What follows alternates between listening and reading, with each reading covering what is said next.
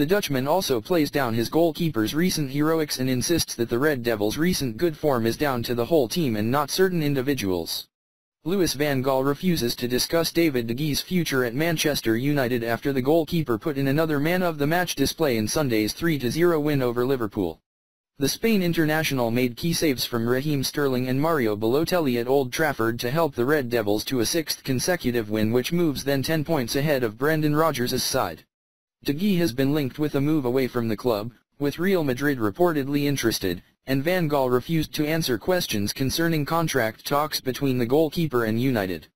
I don't think you the press need to be acquainted with those types of things, he told reporters after the match.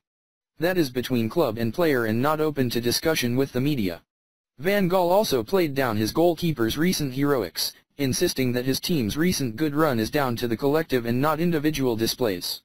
I think the team has done very well and De Gea contributed a big part of that, he added. I am not cautious to praise David De Gea but every individual player. We are doing it as a team, not one player is winning. I can mention other players and their performance was always high.